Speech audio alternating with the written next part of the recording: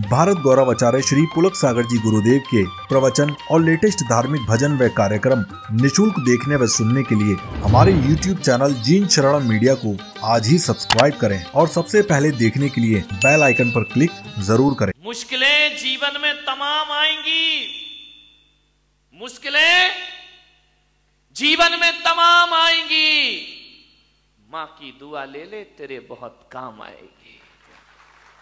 चीख रहा है सही कर ध्यान रखिए। मान्यवर। ज़िंदगी तीन पड़ावों से गुजरती है। बचपन से होकर जीवन गुजरता है जवानी से होकर जीवन गुजरता है और बुढ़ापे से होकर जीवन गुजरता है। बचपन भी आता है जवानी भी आती है बुढ़ापा भी आता है। बुढ़ापे के बाद क्या आता है? कुछ नहीं आता। बुजुर्गो, ज़्यादा इंतज़ार मत करो। बुझा बुढ़ापे की बात तो आता कुछ नहीं है। जो भी है, वो जाता ही जाता इनकमिंग बंद हो जाती है आउटगोइंग चालू रहती है। बुढ़ापे में। बचपन आएगा, जवानी आएगी, बुढ़ापा आएगा। पर मेरे भाई, एक बात ध्यान रखना। बचपन को संभालने के लिए माँ की ज़रूरत होती है। माँ ना हो तो बचपन बिगड़ जाएगा। महात्मा ना हो तो जवानी बिगड़ जाएगी। और परमात्मा ना हो तो बुढ़ापा तुम्हारा बिगड़ जाएगा, ध्यान रखिए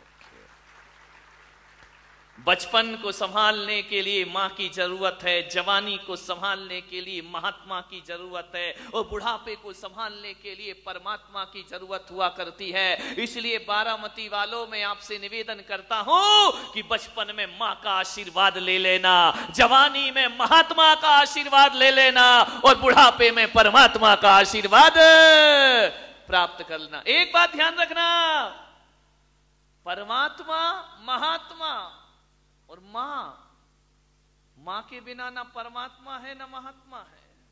क्योंकि महात्मा के अंतिम अक्षर भी माँ है और परमात्मा का अंतिम अक्षर भी माँ हुआ करता है। मैं तो आपसे कहता हूँ, यदि जीवन से इन तीन लोगों को निकाल दिया जाए, माँ, महात्मा और परमात्मा को निकाल दिया जाए तो बताओ फिर ज़िंदगी जीने लायक क्या बचेगी? जीवन में कुछ भी मिलने वाला नहीं तीन चीज़ें बहुत महत्वपूर्ण है।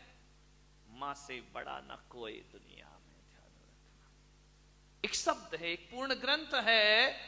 माँ एक महाविद्यालय है। माँ से गहरा कोई सागर नहीं है। और माँ से बड़ा कोई आसमान नहीं हुआ करता है। माँ से बड़ी कोई धरती नहीं हुआ करती है। माँ से बड़ा इस दुनिया में कुछ नहीं हुआ करता है। माँ सबसे बड़ी।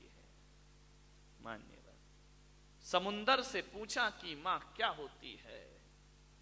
मेरा मुंबई में चातुर्मास हुआ, समुंदर से पूछा कि माँ, क्या होती है? समुंदर ने कहा, मेरे सीने में तो मेरे भीतर तो रत्न हैं, जवाहरात हैं, लेकिन मैं माँ को प्रणाम करता हूँ, क्योंकि माँ वो होती है। जो औलाद के तमाम राज अपने सीने में छिपा करके जिया करती है, वो दुनिया में माँ हुआ करती है। मैंने दुआओं से पूछा कि माँ क्या होती है?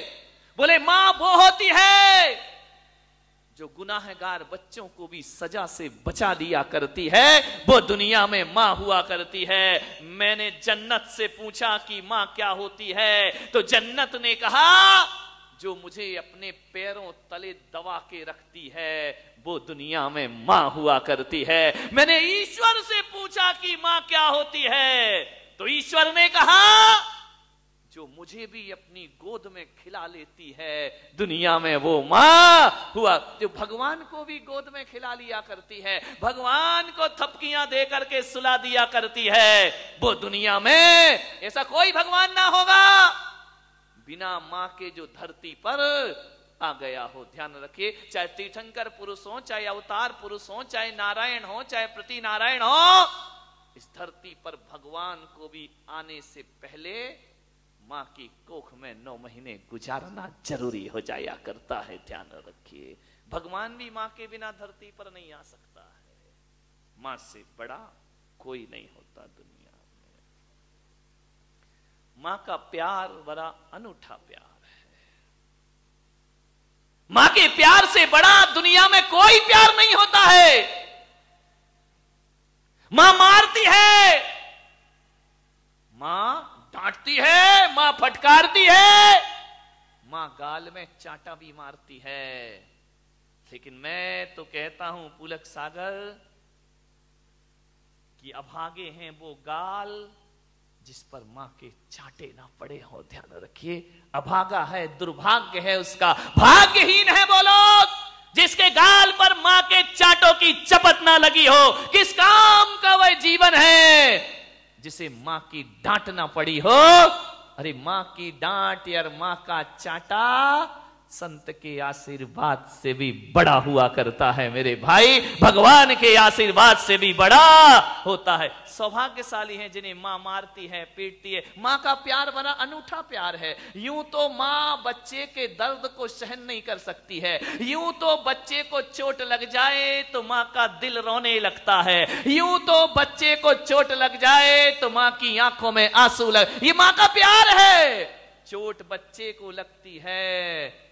दर्द माँ के सीने में हुआ करता है। ये माँ का प्यार। देखो, एक पत्थर की चोट लगी तो माँ दुखी हो जाएगी। माँ का दिल रोने लगेगा।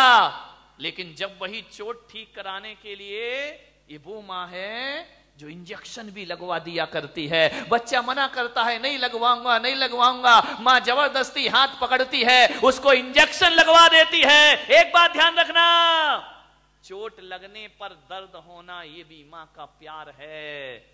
और दर्द मिटाने को इंजेक्शन लगवाना, ये भी माँ का प्यार हुआ। बड़े अनूठे प्यार नहलाएगी, धुलाएगी। शरीर का मैल निकालेगी माँ। शरीर से मैल हटाना, ये भी माँ का प्यार है। और नहलाने, धुलाने के बाद एक काजल का मैल माथे पर लगा देना, ये भी माँ का। अभी तो नहला रही थी। अब नहलाने के बाद काला काजल का टीका और लगा दिया करती है। ये माँ का प्यार है। एक बच्चा मेरे पास आया, बोले, महाराज, मेरी मम्मी बहुत खराब है। तो मैंने कहा, क्या करूँ? बोले, आप कुछ बताओ। मैंने कहा, मम्मी बदल ले। तो बोले, महाराज, मम्मी कैसे बदल सकता हूँ? मम्मी तो वही रहेगी। तो इनका मम्मी नहीं बदल सकता तो अपना स्वभाव बदल ले। दो में से एक तो बदलना ही पड़ेगा। अपनी सोच बदल ले, अपनी थिंकिंग बदल ले, अपने विचार बदल ले। बोले हाँ ये तो बदल सकता हूँ, लेकिन मम्मी तो बदली नहीं जा सकती है, ध्यान रखिए। मान्यवर, माँ तो माँ होती है। मैंने कहा, क्यों है तेरी मम्मी खराब? बोले, देखो ना महाराज, जब रात को मुझे नींद नहीं आती है तो मम्मी कहती, सो जा सो जा सो जा। टीवी बंद कर देती है, लाइट बंद कर देती, बेटा तू सो जा, बेटा सो जा। और जब मुझे सुबह सुबह अच्छी नींद आती है तो मम्मी कहती, उठ जा, बेटा, उठ जा, अभी तक नहीं उठा, जल्दी उठ।